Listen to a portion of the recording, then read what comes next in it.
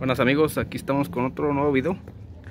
Y en esta ocasión les voy a compartir, no sé si llamarlo truco o un tip de cómo fortalecer o vigorizar nuestras plantas cuando las vemos un poquito recaídas o que no se o que no se mueven, que no crecen y ya ha pasado tiempo y pues no vemos avance. Y se nota pues en los, en los brotes nuevos y aquí tenemos este pequeño. Les quiero compartir eh, este como pueden observar lo tenemos en este en esta parte de, de la terraza. Y estaba colocado en por esa zona. Ahí arriba junto donde están aquellos estaba colocado este amigo. Si lo vemos desde esta perspectiva el sol sale de acá y se mete acá o sea que las horas más fuertes le pega a toda esta zona de, de estos pequeños amigos. Y lo teníamos de aquí al lado. Pero como vimos que no se movía, lo hemos cambiado para acá. Y vamos a colocarlo. Vamos a dejarlo acá fijo para comentarles algo.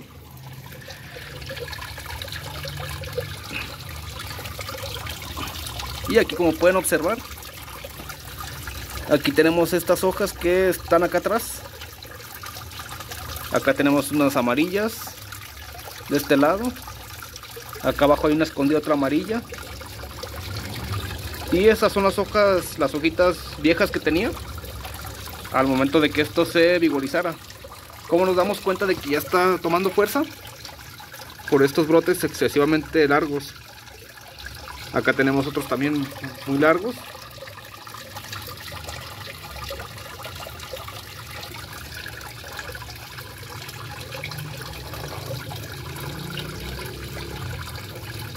Y acá atrás tenemos unas hojas amarillas también del, del tiempo que les menciono que no se movía. Se ven un poquito maltratadas o amarillas. Y ahorita esta parte estaba hacia la, hacia la barda. O sea que el sol le daba muchísimo mejor por acá. Y se empezó a... Tenía más brotes por este lado. Y acá ahorita lo, lo, lo donde lo tenemos ahorita en el nuevo sitio. Lo hemos colocado aquí donde le da más el sol para que se rellena un poquito más por eso notamos aquí los brotes un poquito más más largos que acá.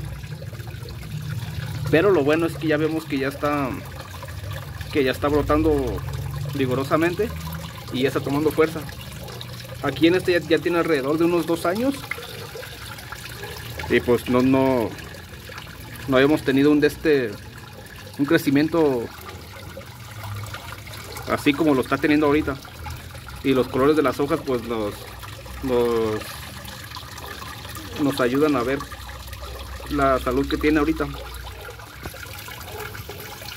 Este ya ahorita es momento para para quitar todos estos brotes largos. No. Vamos a dejarlo que siga vigorizando. Y aparte que esta parte de acá la, la fortalezca muchísimo más. Ahorita como ya vimos que ya empezó a responder, lo que menos vamos a hacer ahorita es detener el crecimiento con poda. Vamos a dejarlo que crezca así.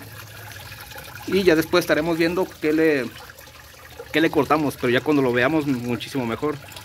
Esto nos indica de que está creciendo las raíces abajo también. El crecimiento de abajo se refleja en el crecimiento de arriba. Y pues ahorita pues lo peor que le podemos hacer es, es, es podarlo. O tocarle las raíces.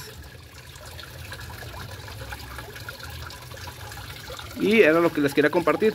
Si ustedes uh, tienen sus ejemplares que los ven detenidos o los ven que no se mueven o con hojitas maltratadas algo así eh, si notan algo raro en lugar de bueno a, mí también se, se, me ocurría lo primero hacer un trasplante y cambiarle de, de sustrato o de maceta pero este ya tiene sustrato drenante. Y obviamente no tenía temas de de podredumbre o de exceso de humedad.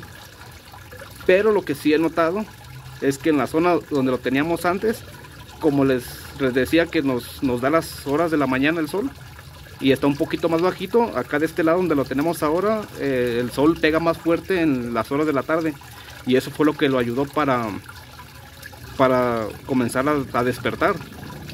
Así que ustedes si también tienen un caso parecido, antes de hacer un trasplante, prueben cambiarlo de sitio. Les puedo asegurar que con unas dos semanas que lo cambien eh, a un nuevo sitio con más horas de sol, van a notar el cambio de, de desarrollo. Y ya con eso se van a evitar de hacer un trasplante porque a lo mejor el problema no estaba aquí abajo, sino que estaba en las horas de sol que le daba a nuestra plantita en todo el día. Y ahorita pues ya lo vemos así ya muchísimo mejor. Así que amigos, ahí les dejo mi pequeña experiencia que ya he notado con otros varios lo Pero este desafortunadamente no lo, no, no, no lo documenté cuando lo cambiamos de sitio, pero en dado caso de que nos pase con otra planta, se los voy a estar compartiendo cuando lo veamos que está entre comillas dormido. Se los voy a compartir y lo voy a cambiar de sitio y, juntos vamos a ir viendo la diferencia de progreso que va a tener. Así que amigos ya lo saben, antes de hacer un trasplante pueden intentarlo. Solamente dos semanitas y van a notar la diferencia. Así que ahorita lo vamos a regresar al mismo sitio donde estaba. Y lo dejamos que brote ahorita lo que, todo lo que quiera. Y ya después nos ponemos a ver en el, en el diseño o en la poda que le vamos a dar. Acá se, se ve exagerado el brote. Así que amigos, espero les guste el video. Y aquí se despide este pequeño. Gracias.